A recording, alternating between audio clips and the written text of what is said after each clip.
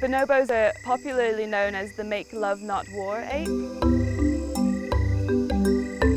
Chimpanzees resolve sex issues with power and bonobos resolve power issues with sex. We have a very interesting presentation coming up. It's Kirsty Graham. She's a Campbell River girl um, who actually lived at Strathcona Park Lodge for a little while when she was a young girl and I first met her there. And she's now uh, pursuing her PhD studies at St Andrews University in Scotland.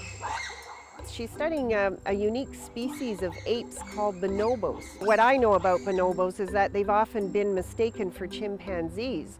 Uh, but what Kirsty is bringing to the attention of the world is that they're actually very different because unlike chimpanzees who tend to be warlike, bonobos are very loving.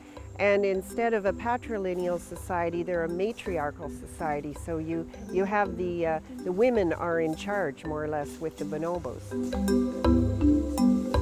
It's by donation and the funds raised will go to COSEPALA, which is a charity that my family and I started in order to link up local NGOs at Wamba with finances because they're incredibly well organised but in such an isolated community it's difficult to get the funds to start up these projects. So the idea of the charity is to help Wamba. Eventually we hope it will grow so that we can help other young researchers support community projects at their field sites. So come out, enjoy the presentation and help to support these organisations at Wamba.